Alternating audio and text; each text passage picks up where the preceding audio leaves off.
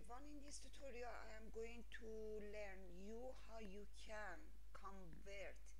an integer to string. In opposite way, string to integer is available in stdio.h but uh, in uh, when you want convert an integer to string you are going to make a function void i to a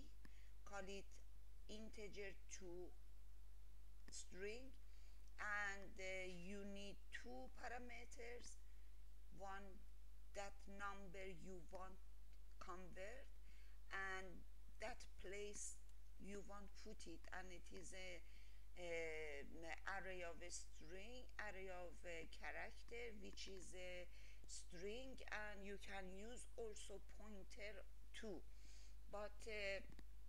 because I want uh, you can use pointer too it doesn't matter. And in int main uh, you declare um, an integer variable and a character um, uh, an array of character and um, use as default something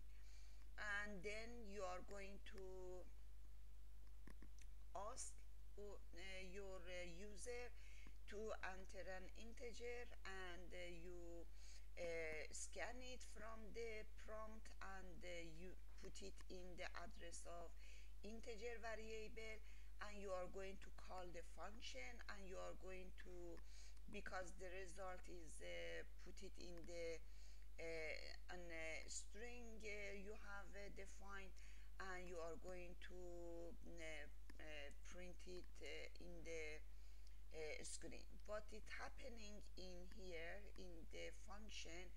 you are going to uh, declare the few uh, integers and you are going to put the number uh, the n the one of the variables as Uh, that number uh, you want a convert and you are going to mm, uh, calculate the number of the length of the no, your number and you are going to use a while loop and tell that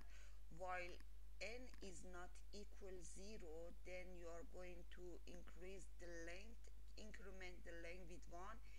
and you are going to uh, divide n by 10 and put it in n and the while loop is going. And uh, for uh, you are going to use a for loop that use uh, uh, your loop it begins starts from zero uh, until it's less than the length and you are going to increment it each step. You are going to put one of the variables rem equal the remainder of the uh, number divided by 10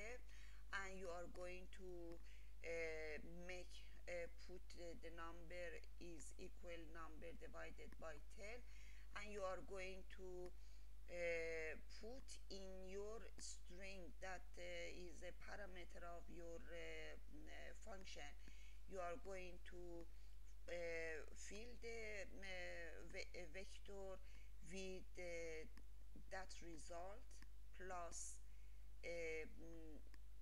plus a character 0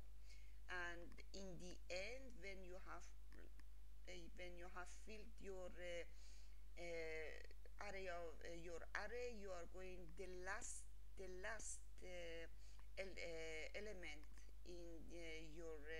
vector you are going to use a, a, pointer of zero which means that the string is is the end of that string. Now we are going to uh, compile and we are going to run and we are going to use 17 and the 17 is up here and you are going to run again and you are going to use uh, 1024 and it's uh, up here as character okay it was all in this tutorial. See you on next tutorial.